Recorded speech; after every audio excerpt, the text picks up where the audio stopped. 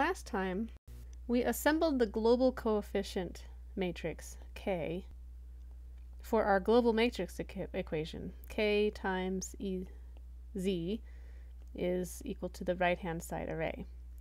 And we also applied the boundary conditions to finish solving for the right-hand side array. And by applying the boundary conditions, we also had to modify the K matrix at the term nn nn.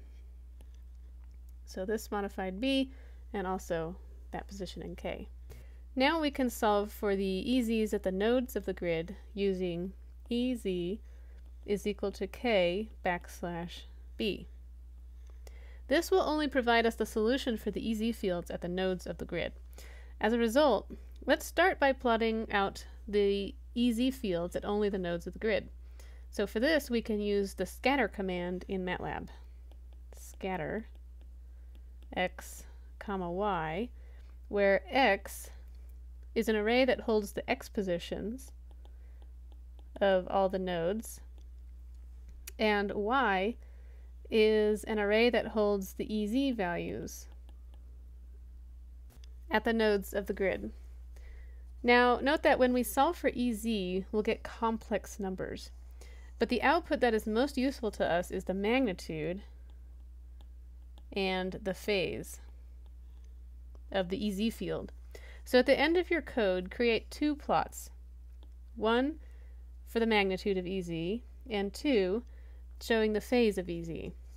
You'll probably find the abs, absolute value, command in MATLAB useful for plotting the magnitude, and the angle command for plotting the phase. Lastly, before you actually run your model, think about what you expect to see. What happens when a plane wave is propagating in free space towards a PEC? How does it reflect and what is the interaction of the reflected wave and the incident wave? Remember our FEM model will give us a solution in the frequency domain.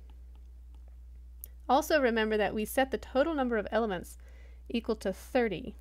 So NE is 30, which covers a distance of 1.5 wavelengths from the PEC, since we have 20 elements per wavelength.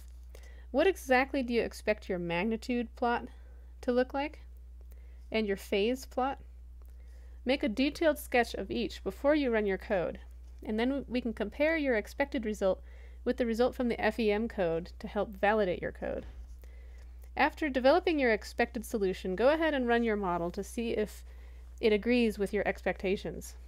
Plot the magnitude in volts per meter and the phase in degrees, and the x-axis of both should be plotted so the x-axis in terms of wavelengths.